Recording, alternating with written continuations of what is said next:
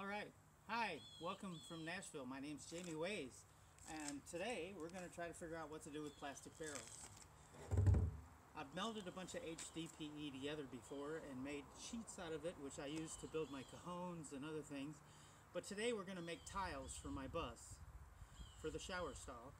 And uh, we start out with a barrel like this.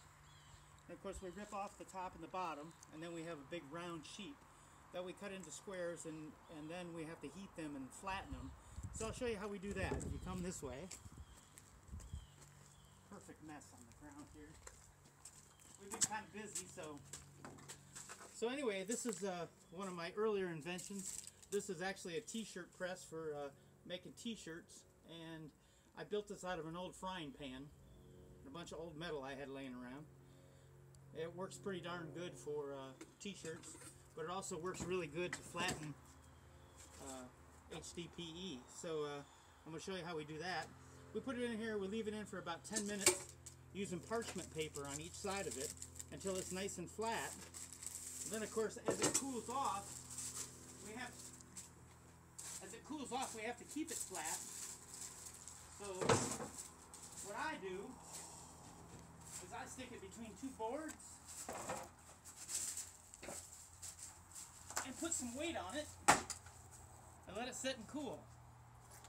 Once we get that done, we cut it to size on the table saw because, of course, HDPE is like cutting wood. You can cut it on the table saw. Kind of hard on the blade, but it works pretty well. So we're going to go into the bus now, and I'm going to show you what I'm doing with them.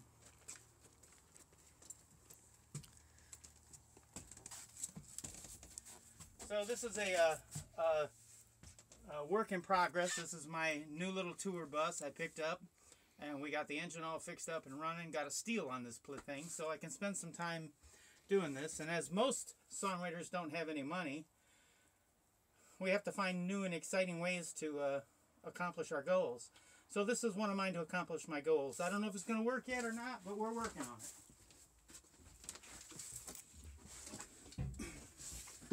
When we're done, we have a tile that looks similar to this. Of course, you could clean it up and make it look all pretty and exactly the same color, but I kind of think that takes away from the, uh, the look of it. And uh, so we're going to use this one just the way it is. And I'm going to show you how we set them down in there. I tried a couple different uh, waterproofing membranes, and none of them seemed to work. So I went back to something that I used for years for caulking windows and keeping water out of everything else. And that's silicone. 100% silicone. What could be more waterproof than that? So what we're doing today is we're taking and we basically are lining the whole back of this tile with silicone. Now we've already cut this to size, so that's not going to be a problem. And uh, as we're doing this, I'd like to tell you some other stories, but I don't have any right now. I am